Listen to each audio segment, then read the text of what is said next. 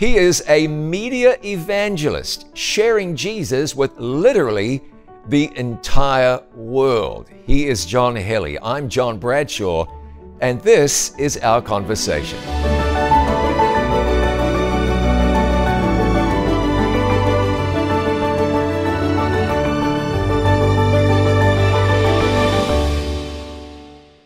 John Geli, thank you so much for being here. I appreciate it. Glad to be here. Uh, we, I, I want to, there's so much I want to ask you about reaching the world with the gospel of Jesus. That's what you do right now as the manager and director of Life Talk Radio, a global Christian radio network. Very exciting, at least for me, an old radio guy. But why don't we go back to the beginning and find out a little bit more about the, the person John Geli? You tell me where you sprang from, where you spent your early years, and so forth. Absolutely. Um, it's just a privilege to be here. Thank you for inviting me on the show. And uh, it's, uh, it's been interesting as you look back in time to see where God has guided the processes. I would not have imagined things being where they are today. Isn't that an it's interesting totally thing? amazing. Yeah, where, where, you, where you had the benefit of hindsight and you can say, oh, God was really leading. Maybe at the time you felt like God wasn't leading. Exactly. Yeah. Uh, I mean, I go back to the, you know, back in my college days. Um, went to Pacific Union College out in the Napa Valley. And um, as I was heading there, there was a friend who knew a friend, you know, one of these connections kind oh, yeah. of things, and knew the manager of the local station there at PUC. And so they said, Hey, would you like me to set something up? And of course, I was really a shy kid. I know it's hard to believe it now, but uh, very shy. And so uh, I was like, radio. Oh no, you'll just be turning some. You know, back then it was reel to reels, Sure. and it was uh, taking you know tape and then cutting it with a splicer. Does it, does you know make, all these things. you you know. feel old? a little bit. Because that wasn't that long ago. It You know, wasn't. it, It wasn't. wasn't. And technology changed just like, Like that. that, You like know, that. we were dealing with tapes that you had to splice together. Suddenly, what's this new stuff they're bringing into the studio? Records were replaced by CDs, and CDs are old hat now. The change has been dramatic, but you go all the way back to the so old back to there, and The uh, so I get the job. I'm working there at the radio station, which was known at that time as KCDS, and uh, so I'm on the By Request show, eh, which happened to be on Friday nights, and we're playing the the songs that the people want to hear on a Friday evening. And uh, so we had those records, you know, back in those days. And so we'd have to t- get the turntable. Do you remember the turntables? You have sure. to get them a little bit backwards and then let it spin up so that the it would turntable, keep keep your finger on the record, and just let it roll so, right. let, so it would play good. Yeah. And so uh, we started to realize, well, that's a challenge. You know, we need to, uh, you know, have some more help here because we're running down hallways trying to get all this stuff. And uh, so, anyways, it was quite an interesting beginning to just getting to know radio. Um, but that progressed as I was through my college years, started to learn more about a radio there. And what really developed a passion, because I didn't go in to college going to be a broadcaster What was your intent? my intent was I wanted to do something to help somebody. I know it was very vague at that moment in time, freshman year. It's kind of I want to do vague, something that'll help somebody. Oh, but- well, and well. Uh, and so you know, as I was there, I, I can still remember receiving the phone call from a listener in our broadcast area, and I was just a college student. I didn't have all this training that everybody has, you know, and stuff that that are broadcasters. But I answered the phone, and the person says, "I just want you to know that the song you just played, the messages you just shared, made a difference in my life. Mm. I was actually heading to commit suicide. Oh, And so, as a college student, you're like, whoa, you know, and you take a moment and you're like, well, thank you so much. But it just, that incident right there totally captivated how God can use media Yeah. in a powerful way to connect people that I didn't know that person was out there about to commit suicide, that he would come across the radio dial and he would hear the message. And the message would be so transformational that he would actually choose to not do what he was going to do. And here I was just looking at it was a job, a job in college, you know. Yeah. So that, along with some other steps along the way, began to change my trajectory. I was taking more communication classes, more, you know, broadcast emphasis classes, and um, and then uh, my girlfriend at the time, Tammy, uh, she invites me to go as a student missionary. And uh, you know, some of our colleges encourage the young people to go out as student yeah? missionaries all across the world. Sure. I got, I got so- a nephew right now who's suffering. It's, it's, it's not exactly SM, but kind of similar, and he's he's suffering away on Oahu right now. Suffering, yes. yeah, that's, that's a tough gig. So where'd you go? So I, I had a little bit of a suffering. Maybe it was more suffering than Oahu. I don't know. But uh, we were invited to go to the island of Guam. No, that's a pretty good spot to That's land. if that's a great do- place. Do, a year's mission yes, service. Oh, yeah. exactly. So beautiful island, you know, Oh, yeah. um, uh, out in the Micronesian islands, if you know. So just a little Sure. bit Japan, Korea, and that zone and, and territory. A few hours away from there, you have this beautiful island of Guam, U.S. territory. And so I was asked to work with Adventist World Radio. And uh, so while I'm working there, I'm just working actually not with the equipment and all this stuff. I'm working more in the marketing and development and PR area. So each day we're receiving letters from people from China and from other places around the world. And they're telling us how the messages of the gospel being presented and shared are actually transforming their lives uh, uh, how they snuck Bibles into China and how they got all these things. So it was just uh, amazing. So again, the passion I had, I want to do something for God, make a difference in, in people's lives, started to continue that direction for me of going into the broadcast you know field for sure. So uh, long and the short of it, we're there in Guam. We finished our term there. It was about a year long, and so then I came back to PUC to finish off my education there.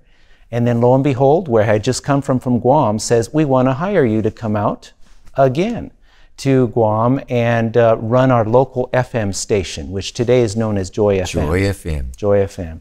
And a great friend of mine, Matt uh, uh, Dodd, who's the manager there, He's, he's still doing a great still work. doing there. a great work. Fabulous. So, so it was Joy 92 back in those days because we just had one station, 91.9. And so we were broadcasting the gospel. And when I first got there, it was mostly just classical music. Uh-huh. And so the people of the island, well, you know, some liked, but most, you know, weren't really enthusiastic about the programming. So we made a change, uh, January 1 of 1995, to change it all over to uh, Christian broadcasts, music programs, all designed to help people connect with Jesus. yeah, amen. Now you're talking. And when we did that, it was like a complete, I mean, dynamite change. Was, now, did, did the listening audience melt down or did they light up? It totally lit up. I've, I've worked on radio the- stations where we changed the format before and Uh-huh. you can get it both ways. You're right. You're right. It can go the other way, but in this case, it totally went. We had the supporters from not only the local churches there excited about the station, but we really had people. I would invite people. Said, "Hey, come, let's study the Bible on a Saturday morning. Come here, and join us at 9:30, and we'll just have some fun studying Nice. God's Word. It'll be great. If you're in the northern part of the island or the southern part, just show up." So then the churches start calling, and people, "Hey, we're having people just showing up here. They they, they said they were invited by the radio and stuff." Yeah. So it was uh, it was just so excited. We actually started a Bible school there called uh, we called it New Life uh, Bible School, and where we were giving like it is written Bible studies. We had Bible studies that's from other stuff. organizations that were being given there. Um, free materials for, for people, and it was just it was fantastic. So I want to ask you, let's go back Yeah. even even further. Yeah. I know your dad's a pastor, retired pastor now. That's right. Uh, did you ever ever feel like you were going to follow in your dad's footsteps and, and get into pastoral ministry, or was that never God's calling in your life? You didn't you didn't feel like that was the way to go. You know, the interesting thing is, I never thought of myself as being a pastor. I was almost more the behind the scenes. I loved to help do stuff. I never wanted the, I don't know, the limelight or to be in front of people necessarily all the time. Um, So instead, he ends up on radio in front of thousands of people yeah. in one more, shot. more people now. And Yeah. the funny thing now is we'll bring a pastor on the radio. Sometimes they get nervous. Isn't They say, the oh, thing? all these people are listening to me. And I'm like, you know, it's okay. So what's happening when you're standing in the pulpit, Pastor? They oh maybe they're not listening to you. Exactly, exactly. So, you know, there I was on Guam for about a couple years there. We, we got the station going, it was going great. And then the Lord, as you know, sometimes from time to time, He'll call us to another place. Oh yeah. And so this time the Lord called me then over to um, Modesto, California, to a station called KADV uh, that was playing some great programming there, very similar to what we were doing on the island of Guam. And so we started working there, and again, making the emphasis of using the model of Christ. If Christ was successful with what he did, How did he do it? Yeah, right. He met people where they were at. He tried to meet their needs. He tried to uh, provide programs and different things that were, you know, that were designed to meet where they were at. And so what we did with the radios, we tried to incorporate that same thing. So we need to have programs on finance. We need to have programs on Bible study to dig deeper. We need to have stuff for kids. Sure. We need to have prayer time. We need to have um, um, counseling time. We need all kinds of things so that people can be reached. And so we started that. We changed the programming a little bit, just adjusted it because they already had a great program there. And, uh, and little bit by little bit, um, the community, everybody just started to rally behind. Things started to grow and grow and grow and grow. So um, it, it's just amazing as each step goes, Yeah. you know, how God continues to guide. Hey, what I'm interested in is this. You know, you, you, your calling wasn't to pastoral ministry, but it was very clearly to ministry and broadcast ministry and media ministry. You, you, you mentioned going to Guam, where the, the, the Christian radio station played classical music, which you know I find hilarious and and tragic all at the same time. And there's some good pieces. I, I enjoy some of the, you know, Boston Pops and some other ones that are great. Man, I love classical know, music. yes. But if I have if I have a, if I have a, a tower broadcasting to the world, I want to share the gospel. But the challenge we found, and it's not to knock because I, I know there's some beautiful pieces of classical, and I always try to stress that with listeners or, or with Oh, the sure, no- viewers. no doubt. Wonderful pieces that God definitely, I mean, d- helped the, the composers to put yeah, together. yeah. But when I'm trying to use it as a broadcaster to bring people to Jesus, Oh, sure. I never found that to really connect. No, you got to go after Um, people with the gospel. You know, you have to, to respond which to. is exactly back to what the Bible says. When Jesus is lifted up, Yeah. he draws people to himself. So this is my question for you. Yeah. So you, you weren't the pastoral minister. You go to the, the classical music Christian station and you flip it and you started doing something overtly evangelistic.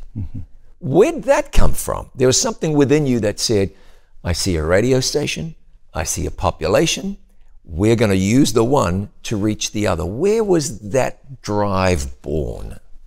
I think probably uh, just growing up, I guess, as a pastor's kid, uh, and, and just seeing Jesus as, as you know my true friend, um, and that He's really there not to keep us out of heaven. He's trying to draw us in. Oh, sure. and he's working so hard to do everything and then you look at the opportunities that god's provided that i mean our grandparents great grandparents could have only wished the technologies that are available today Oh, yeah. you know from all the stuff we have from smartphones to satellites to you name it and to utilize and harness that for the gospel you know so the passion was growing i think as i was growing up as a child um, i just didn't know where god was focusing it, you know, in there. So when I get to college and I start to dabble in this area of radio, which I had no idea. Now, mind you, my dad had done some television work before, and he'd done some other things, but that was him. You see, yeah, that, that was him. so for me, DNA I was more of a shy person at the time. You know, coming up to the point of college, I would say my girlfriend and then wife uh, helped me to become less shy. And of course, now she's usually waiting on me to finish, you know, talking sometimes. but that's all good. But it was just a passion, I think, that developed, especially there, I think, at the college radio station under the leadership that was there at the time, the management. Uh, you may know the gentleman that uh, Steve Astownit. He was our general manager Oh, that of the so? station at the time. Oh, Very okay. godly man. Yeah. Has worked in various parts of the That's country. right, that's right. Broadcasting and done a fantastic job. And so th- seeing things through his lens and what he was showing, and we were just students learning, it developed a passion for radio is not just radio, but radio for evangelism Absolutely. radio that can touch hearts with answers today you know with if you're stressed if you're feeling afraid if you're going through some some terrible uh, challenge in your life and just to realize that god already has the answer for you Yeah. if you're just willing to open the pages if you're willing to listen to the music or listen to the speaker uh, or watch the program you know whatever it is that if you can just allow yourself to be um, captivated by what God has to offer for you, your whole life can be transformed. And now you find yourself leading, running a radio network called Life Talk Radio, which has a global reach thanks to the wonders of technology. Quickly, how did you wind up at Life Talk Radio? Well, our founder, Paul Moore, had started Life Talk back in uh, the early days of 1992 in a little town or little area called Yakima, Yakima, Washington. Washington. I don't know if you've been there, Sure. but uh, far from where we are currently sitting here in this Yeah. chair.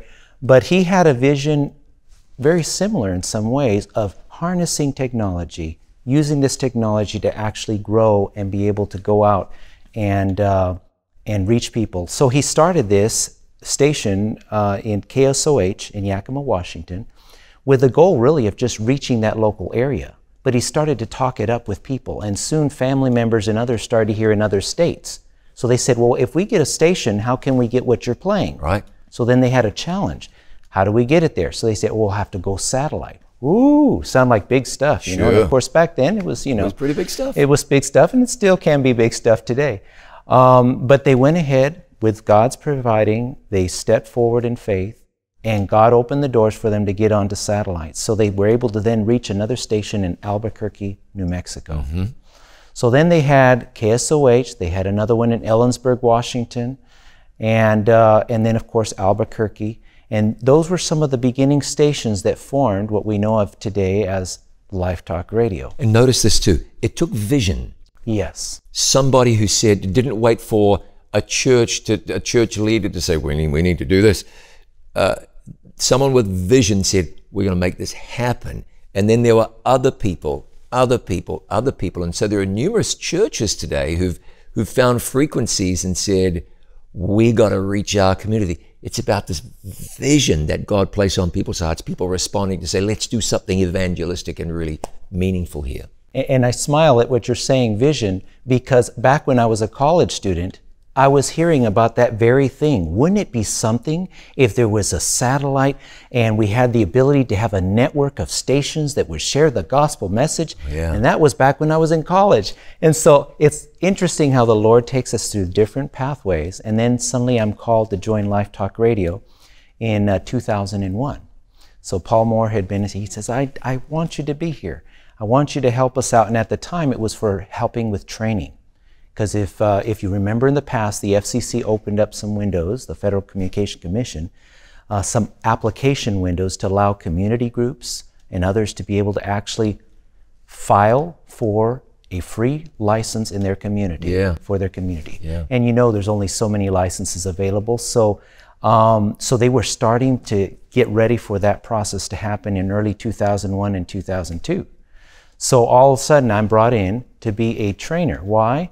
Because all of a sudden people from church groups all across the country, community groups are saying, "Hey, I'm uh, uh, I'm into I'm a ham operator, I'm a doctor, I'm a this, I'm a that, but I love Jesus and I want to have something in my community. So if I go and put this money down for a station, I don't have 168 hours to fill it all. Can you guys provide the programming? Tell me how to do this. So then there was this area of we needed training. So uh, so I came in and basically I was a teacher. So then I, we had people that were actually coming at that time when you actually visited our studios and recorded in there Sure. in Vonore, Tennessee at the time. And uh, we had people that came and, uh, and actually would come for the training sessions. And so we would go from everything. Now we had all kinds of people, people who had never worked with computers very much, you know, but we felt like with the power of God, if there's a willingness, we would work and we would help them learn. And so uh, we actually did that with a lot of groups. People would fly in, we would do the training, we would from uh, announcers, spot recording, you know, your PSAs, public service announcements, your, um, you know, your legal IDs that you're required by the FCC for the station. And then, uh, okay, so you have this automation system. Now what? You know, you know this play. You know the carts that play, Yeah. and what's going to go? How is it going to interact with Life Talk, the network, and how, what do we need to do as the local people here in our area? And uh, even getting fancy later with doing weather forecasts and you know maybe traffic and other stuff. But we tried to stick to the whole goal was to be this light of Jesus Christ in your community from the tower where you were. Absolutely exciting. You know, I love media evangelism. I love radio. That's where I cut my teeth. And to hear the story of how a radio network was unfolding to take Christ to the nation and the world, wonderful. We'll be back with more in just a second. He is John Geli, and I'm John Bradshaw. This is our conversation. Thank you for being part of it. We'll be right back.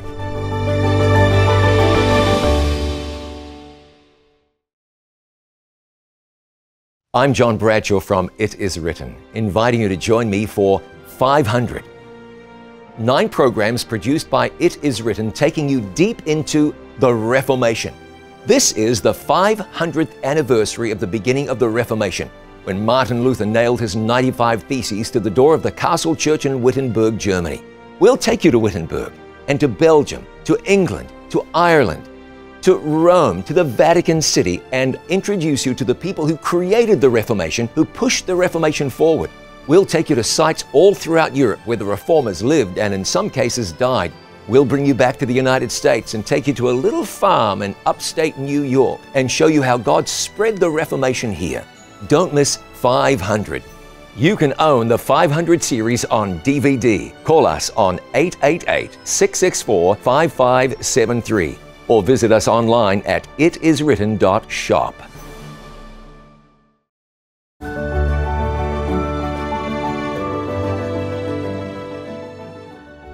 Welcome back to Conversations. My guest is John Geli. He is the manager and the director of Life Talk Radio, a Christian radio network sharing Jesus across these United States and around the world. A few moments ago, John, you were in Vonore, Tennessee, training, bringing people up to speed as folks were, were hatching radio stations from sea to shining sea. That's right. It had to have been something that happened between then and now. So, what, lots of exciting things. So, uh, just looking at that, um, uh, so right at the beginning, when the FCC was opening up those windows for those new station opportunities, Life Talk Radio had grown from the one station of KSOH all the way to 12 stations. Okay, and so there was a, that was included some that we owned and some that were just affiliates. And so at that point, we begin with low power stations now, 2001, 2, 3, 4, 5, okay, are starting to add in. So we start to have 50 stations, and then soon there's 75 stations. And so then we get up to the point where um, in 2011, we're now up to 70 stations, okay? Uh, the affiliate stations around the country and outside the US as well.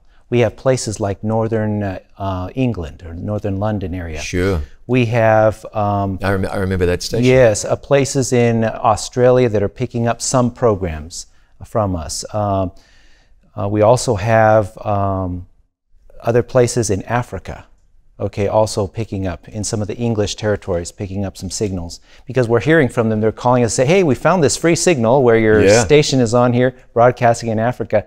So what began as just a local station then grows to a small group of stations, then that grows completely around the world. And so today we have over 200 plus stations yeah, that are fantastic. carrying the gospel message 24 hours a day.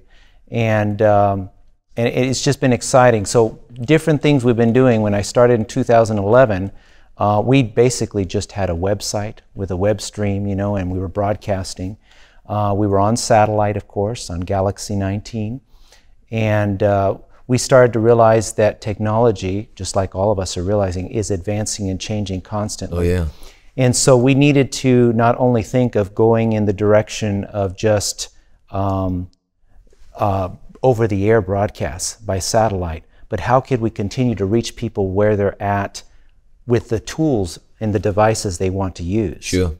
So you begin to see the whole influx, and I know you guys at It Is Written did the same thing, uh, where we start to have apps mm-hmm. coming up. So we have our mobile apps created for Life Talk for both the iPhone, the Android. That was really exciting.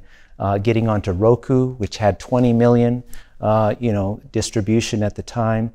And then uh, got a, one of those radio newspapers came through, and I was reading through the newspaper, and it was telling me that that um, the smart speaker systems, you know, these are the Google Homes that we know of now, and Alexa, Alexa and, and all so those forth. kinds of things. Yeah. By 2022, we're going to be in 94 million households, and of course, I was reading this about seven years ago. So I said, "Oh, we need to be there." Yeah.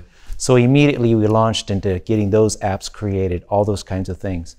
And uh, it has just been amazing to see the stages at which we've been able to grow things, continuing with the same programming that we're doing, but just getting out to more people in, in various ways. Yeah. You know, I'm hearing you talk about you got to create an app and you want to catch up with this technology. And, and one thing about it is none of it's free. So true.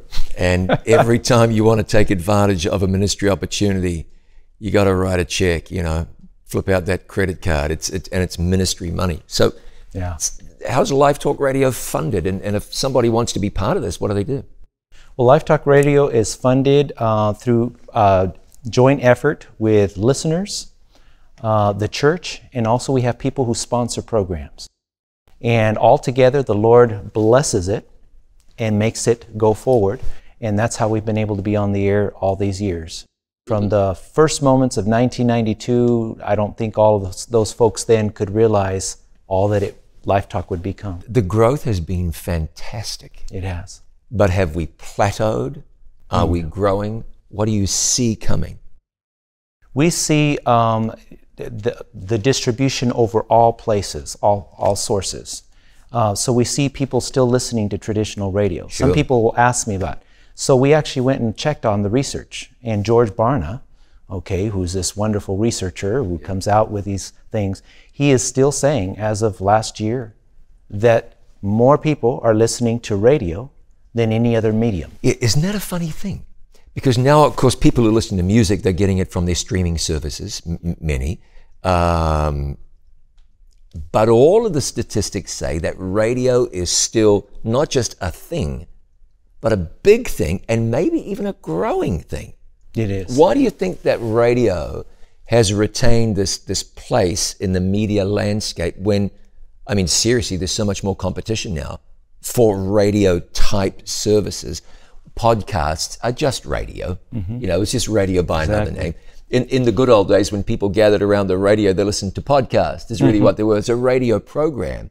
But radio has held its place, it's held its own. Mm-hmm. Why is that? I, I think it's the personal. It's, it's the, the, the words that you use that describe things. It allows the imagination to grow. Um, one of the things I'll be mentioning, and well, I'll mention it right now. We, we started the Kids Network. Okay, so we have not only our regular primary Life Talk network, but we kept having listeners asking, you know, the times for the kids is at the time when my kid is still in school because we're a network, you know, so there's all Yeah. these time zones and around the world, there's, you know, while we're sleeping, somebody's awake on the other side of the earth. They want something for their kids. So we eventually worked and teamed and partnered together with a lot of groups. And we have not only our regular website, lifetalk.net, but we also have lifetalkkids.net. Yeah, Fantastic. And what do we have on stuff for kids? We have all kinds of stuff. We have your your story, you know, your, Your story, Story hour. Hour. We have the Bible in Living Sound. Yeah. We have programs on science, on nature, on all kinds of stuff. Stuff I would have wished I could have had when I Oh, was a kid. And, and I'll say know. this, you know, any any Christian family that's smart will get their kids stories to listen to. Mm-hmm. You know, come on, what's the anyway? There's these great, the, your story hour, for example, Yeah. is, is one good example of that. Because what it does is instead of looking at some d- dumb computer cartoon, uh, they're not all dumb, but the dumb ones are dumb. Uh, you're you're involving a child's imagination. That's the key. They're seeing, they're listening, they're thinking, they're processing, they're inquiring. It's just good for them. We would drive to church when we lived in North Carolina many years ago and listen to, I don't know, some Christian radio network, and they would have the kids' songs on. It was perfect for driving to church. Some of those songs we may still remember today, and the kids are engaged. They're not just zoning out. Uh, I'm not saying radio is the be all and the end all, but boy, it's a great thing. So to get your kids plugged into lifetalkkids.net and give them something wholesome, Character building. character you know, building. points points you to Christ, but comes at it from different angles, from Yeah. different stories. You know, some are dramas, some are um, uh, you know stories that that that are uh, you know designed for the really young kids, and then there's other ones that are more for adults.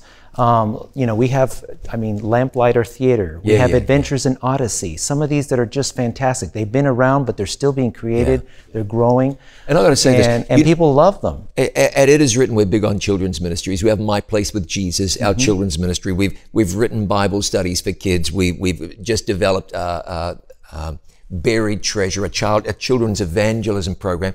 But why? Several reasons. The main reason is because you've got to introduce kids to Jesus. Mm-hmm. And so you're at home and you may or may not have a whole lot of resources on hand for kids. I would say read good books to your kids, read the Bible with your kids.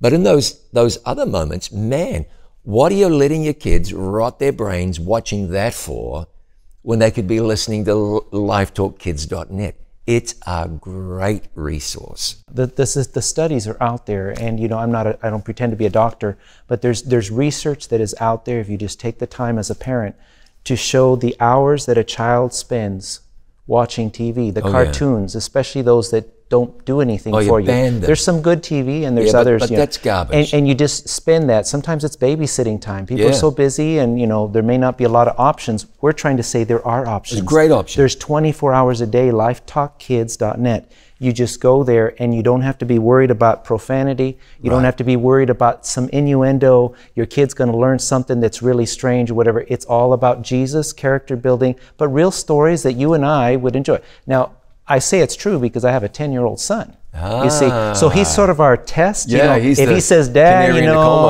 I don't, I, you know, this isn't flying," you know, you- Sure. you know, I appreciate you, but it's not. No, he's on there like every morning before I even come out of, you know, can we listen? Or he's already turned it on. He turns it Didn't I on you Alexa. something? Yeah. Yeah. He, and he turns it on and he, li- oh, He listens. turns it on Alexa. Yeah. You can say, Alexa, Life Talk Radio Kids.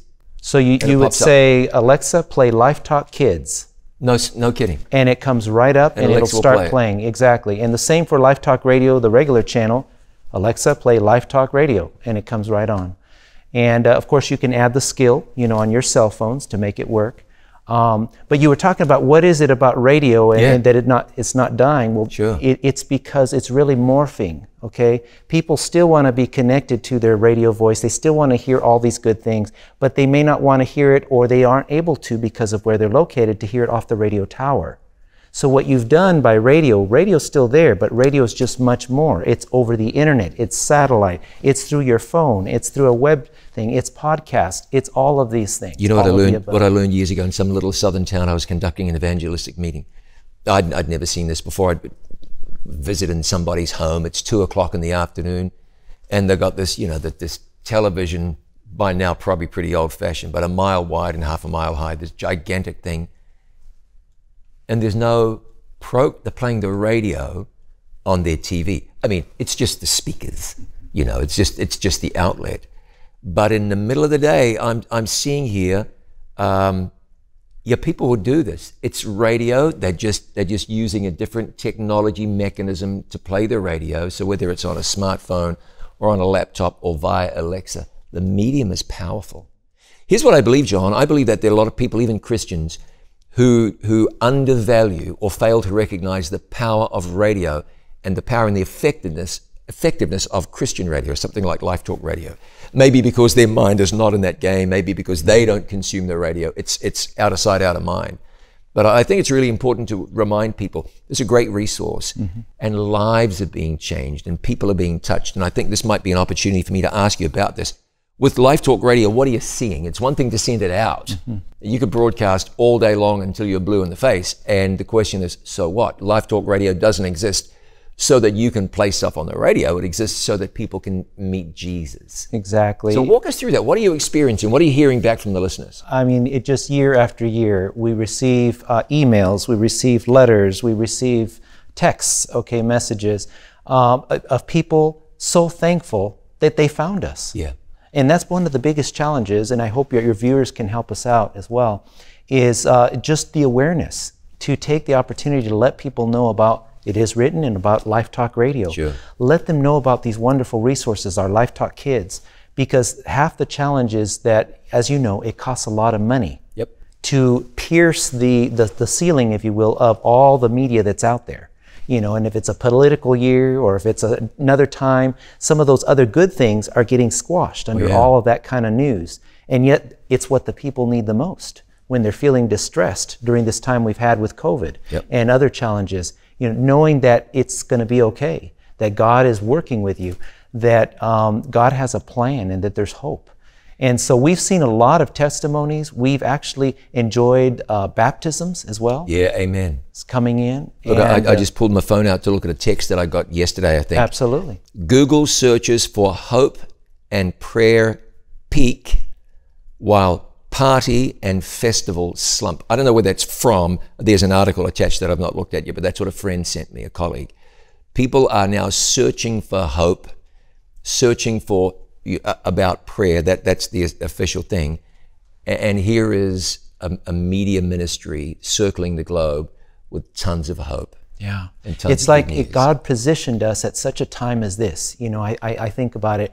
We had no idea that this COVID, you and I, nobody, we had no idea You this was coming, coming. yeah. And, uh, and suddenly we had to pivot and be quick about reaching people. In a way, we were already there. of It's course, just yeah, people were. Suddenly, people suddenly came to us and said, oh, there's programming on how to boost my immune system. Yep.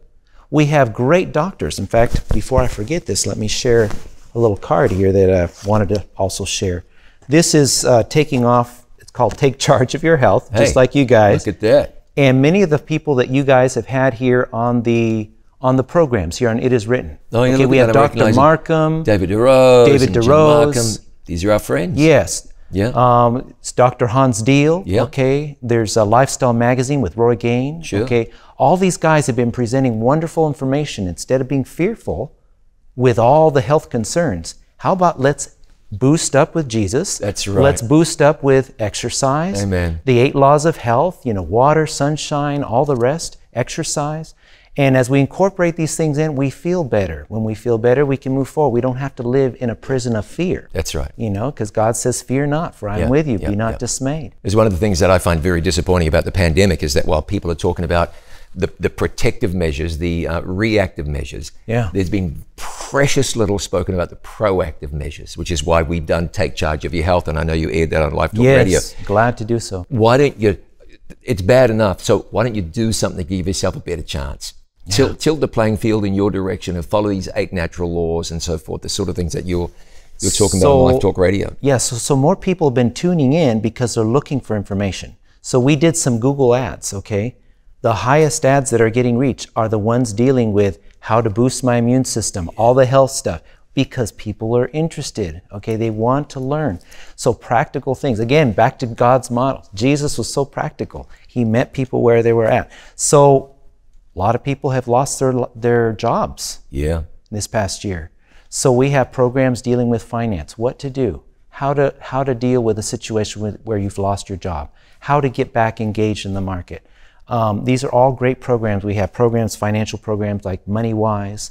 We have uh, programs that deal with counseling. Okay, when you don't have a job, it's very hard when somebody says, "Yeah, you should go get some counseling to deal with that." Oh, sure. And you don't have the money to Yeah. do some. How you gonna So do we have a free program, if you will, from our friends from uh, New Life Live, New Life Ministry with Steve Arterburn. Do a great job with reaching people where they're at, the struggles they're going through, providing them a hope, and then we connect them with other resources uh, that, uh, like Abide Ministry and some of the other ones that are helping. Yeah, you were right. When the pandemic struck and people were looking for answers, Life Talk Radio was already positioned to share because it's what you're already doing. I know in recent times your family's had a difficult personal challenge. So, in just a moment, we'll talk about that. Here's John Geli. This is our conversation. Thanks for being here. We'll be right back.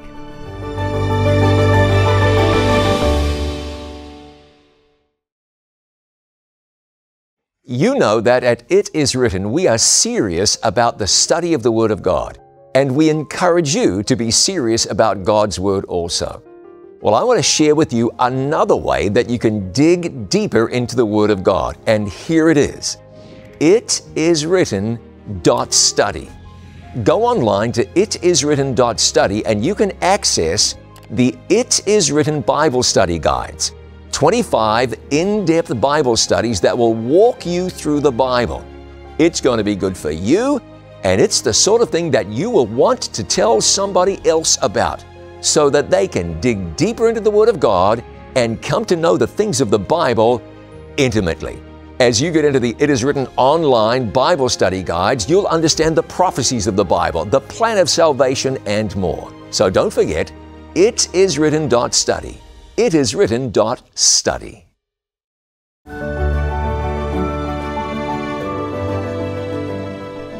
Welcome back to Conversations. My guest is John Geli, who is the manager and the director of Life Talk Radio, a network of radio stations that is sharing Jesus with the world via good old fashioned radio, web based radio, Alexa. I mean, if you can mention it technologically, you can be pretty certain that Life Talk Radio is there. You can find Life Talk Radio anywhere online, lifetalkradio.net, Life Talk Radio Kids. Radio Kids or Life Talk Kids? LifeTalkKids.net. Yeah, there you go. But if you go to lifetalkradio.net, you're going to find the whole thing there anyway.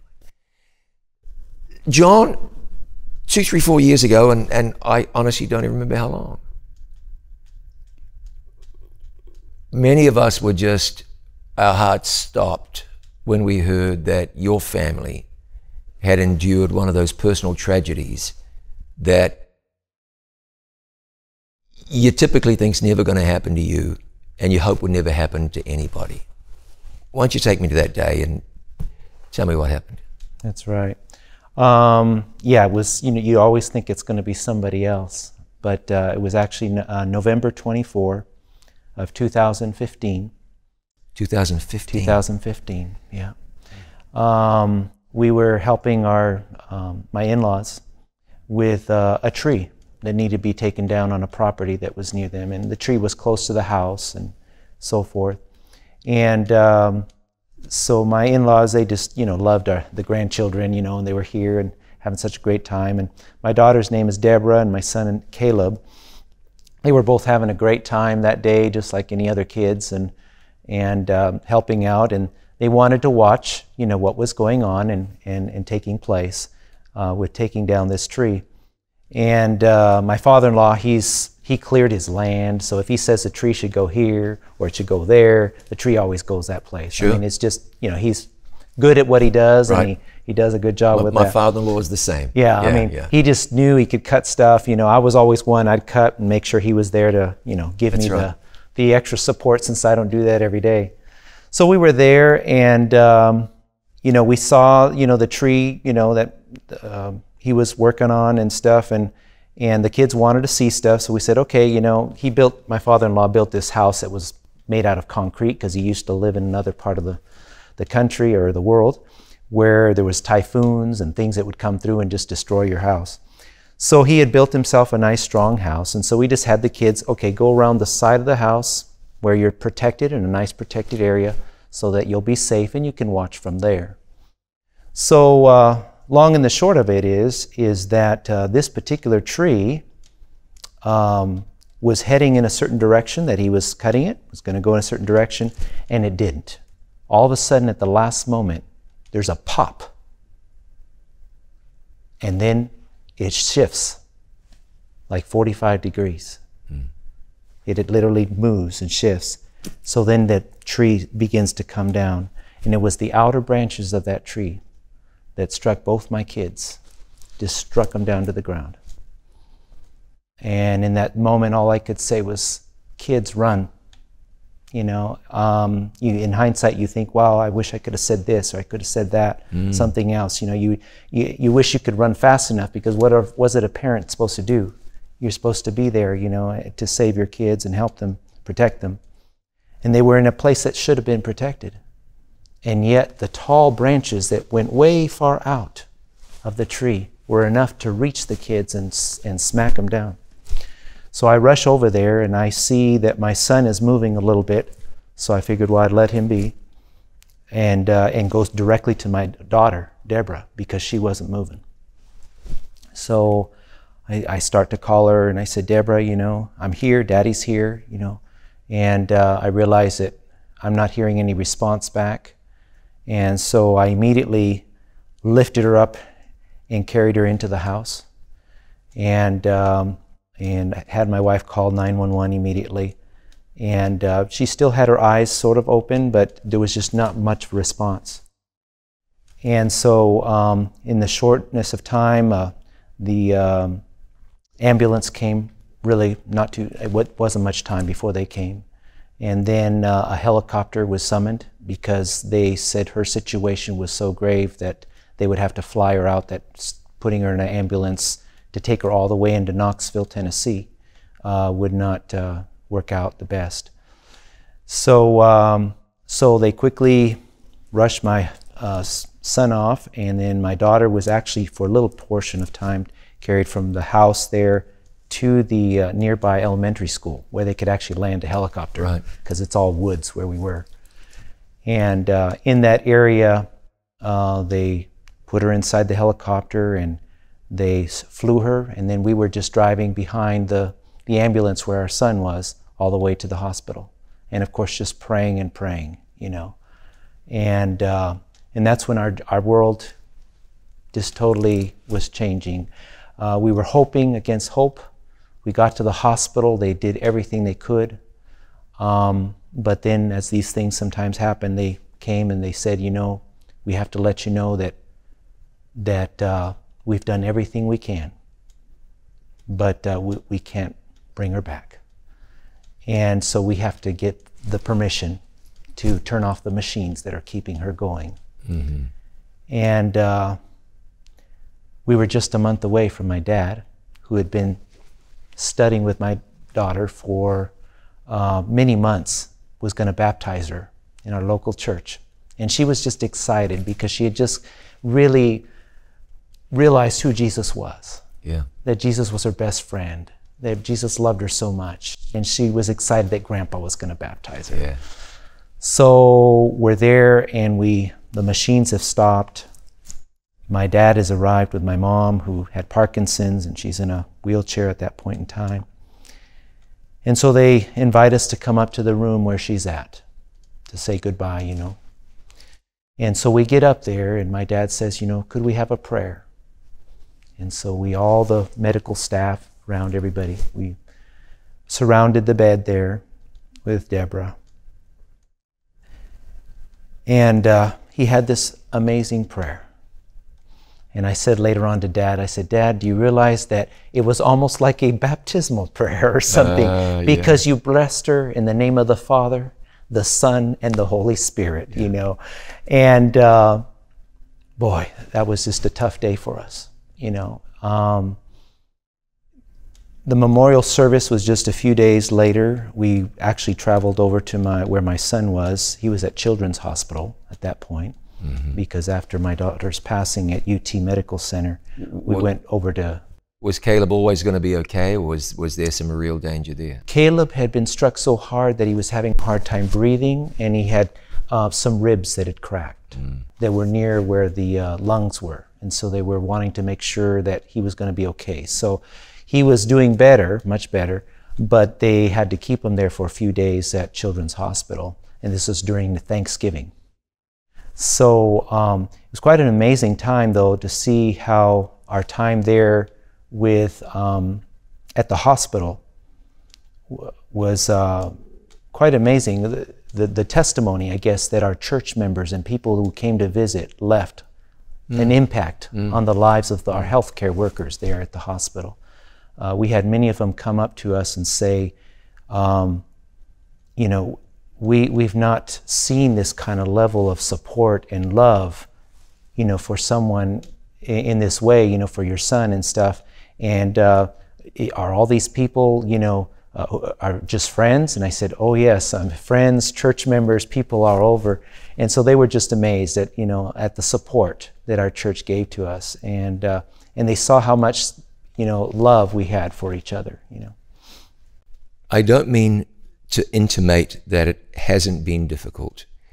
And one thing I find that challenges me with people who grieve is that this tendency to say, I'm doing bad because I'm crying, or I'm doing really well, I haven't fallen apart in a day or two. And of course, that's screwy thinking because the, the fact that you're stoic doesn't necessarily mean you're doing well. It may mean that you're dysfunctional. But what's truly astonishing is that at least it appears from my limited vantage point that you and Tammy, y- your faith has never wavered.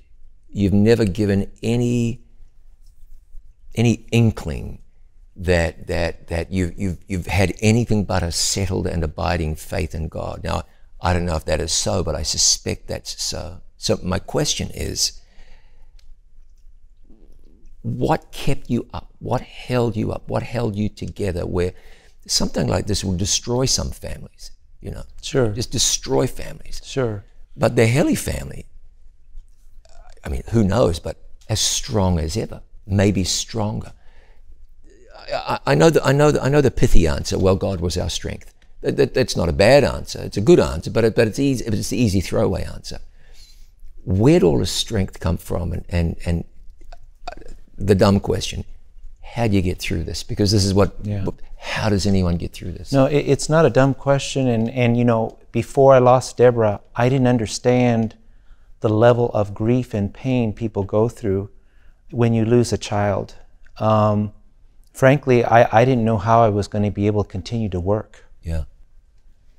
I, I didn't Um, it- know. it I didn't know that either. It how you were was so able to continue to work. overwhelming. You know, I'm still running, you know, Life Talk Radio. Yeah. We're a small staff. I remember the pastor saying, "Well, John, is there someone else who can take care of your duties?" And at that time, we didn't. We have a few more people now, but at that time, we didn't have a lot of people.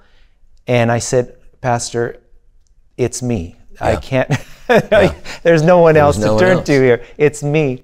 Um, but you know, that was also a blessing to still be useful and do things. So I wasn't sure. just sitting at home in, in total despair. Yeah. But I remember turning to my wife, and and part of me just wanted to, uh, you know, run in the closet or something and just hunker down and not not go out and see anybody. You know, just just this is terrible. I, I can't understand this. The level of grief was such a depth that I had never experienced or even knew I could experience. And um, so at that moment when I was talking to my wife, I said, Well, honey, I said, I feel like, you know, this coming Sabbath, we just need to be, we need to go to church. Of course, there was the memorial service that Sabbath, but we actually went to church that morning. And, uh, and we and we kept going each week to church. Why? Because our church was so loving. It was so so supportive, and uh, and that's where I felt I had a lot of strength. You know, God was giving me strength, but God uses people, tangible Sure. people, to strengthen you. He doesn't, you know, He gives His word that can strengthen us, and then He gives flesh, you know, uh, real people to come alongside you. And we had many people that that wrote to us, that called us on the phone, that reached out to us, and all of that helped us in our quote making it through this this crazy, terrible uh, tragedy. Um, and so, yeah, we just basically put one foot in front of the other, and and try to uh, rely on the Bible was true yesterday, the Bible's still true today, Amen. and it's still true tomorrow. God is going to carry us through, and we aren't the only ones that have lost a child. We're feeling very rotten right now and very devastated. But look, we just start looking around, and there's countless thousands of people who have lost a child, Yeah. lost a, a husband or a wife to some cancer or something else. And, uh, and so, what it, looking at it from now, John, I, I feel like I can understand people more who are going through things Sure. that are very difficult Yep. um, in, in those areas, especially when Tammy and I, my, my wife and I, we hear of something happening to a child, it instantly hits a spot right there in the heart. Sure. I mean, it just, it's like, what can we do to help? Yeah. How can we help you through this process because we know how bad it is, you know? And uh, and, and little bit by little bit, God started to use this to form another little, if you will, side ministry. Um, because the part of the process of me getting help was also realizing what I had and not just trying to power on through. You know, as men, we someday, well, we're just gonna, you know, Yep. you know, Stiff put up a stiff upper lip and we're going to just challenge through this and we're going to make no, you can't just challenge through this. And it's not a weekend event that's going to solve your problem. Um, it's just saying, Lord, I need your help. And so I cried and my wife cried. And we had days that were just blue and dark. But through all of that, there was still the glow of God still being there. He's with us. I will never leave you nor forsake you and he would show his ways through a beautiful sunshine or, or the, the, the rainbow or a card would come in the mail or somebody would say something you know at church or i'd hear a message on life talk radio as i'm working there Yeah. be blessed by somebody's message and so um, the ministry that we were able to start on the side was also um, a GriefShare ministry because we got involved with one that really helped us the people just loved on us took care of it so we eventually actually started that in our local church at Fantastic. knoxville Fantastic. and uh, so God blessed blessed in doing that. And so now we go and we help others who have lost children, lost a spouse. We're involved in doing that. COVID has put a little bit of a wrench, but we even have done some of that with virtual uh, virtual stuff through Zoom and other means. You know, don't know where do you find the right words, but um, you have given your life to sharing Jesus with others. And when you needed him, he was there for you. Which, Every time, Which I find time. very powerful. And uh, every day you go to work and it's all about sharing the same hope with others that got you through what has to be life's, I don't know, most challenging experience, I would think. Yeah, one of the texts in the Bible I, I really, I just love, and I keep it now because I, I, I visualize seeing my daughter in her mortal body coming back to life, Yeah. and all of our loved ones. Think of a person that you haven't lost that you love so much and want yeah. to see him again Oh, yeah. on resurrection morning. And I think of First uh, Thessalonians chapter four, you know, thirteen through eighteen, there where it talks about the dead in Christ shall rise, and then we who are alive are caught up to meet them in the air. And there's this glorious time where we're going to be there. So yes, we have a lot of nasty that we're going to still go through between today and when Jesus comes. Yeah. But I would like to just let everybody know that the programming on Life Talk Radio and the programming on It Is Written that you're doing is all designed to help people connect with Jesus. Right. You know, and so before I forget, just to remind people again I'm not going to let you forget. uh, of our kids network, Life Talk Kids uh, dot .net. Yep. We have all kinds of great programs. We have stuff for coloring books. We have stickers. Uh, we have sharing cards that are great too. Sharing cards for uh, encouraging people to um, actually witness. Yeah. Yeah. So somebody So can we take a sharing card and share that with somebody else. Exactly, H- How can people get them? They're free on our website. You just go to lifetalk.net. There's all kinds of choices. Uh, you matter to God with a scripture. There's other ones like right now with us with the cross. Mm. You find stickers that are just great for kids. Little stickers, amen. bigger stickers. You find pictures of kids. What's on the back side tells Yeah, you nice. 24/7 streaming of Life Talk Radio and uh, all kinds of stuff. One of the special ones we just created here for the springtime, Philippians 3:1, may the Lord give you joy. Amen.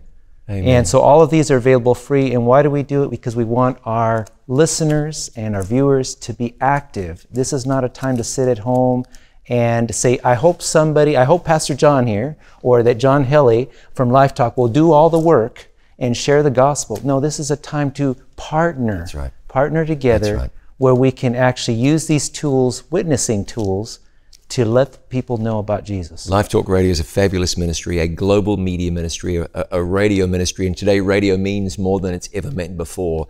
The more people who are blessed by it and tell others about it, the better off the world will be. We want to share the gospel, hasten the return of Jesus. He's coming back soon.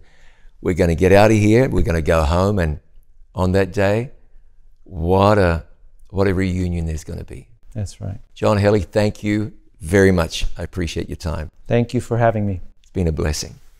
Appreciate you and your time. Thanks so much. I hope you have been encouraged. Remember, lifetalkkids.net, lifetalkradio.net. From Life Talk Radio, the manager and the director, he was John Geli. I'm John Bradshaw. This was our conversation.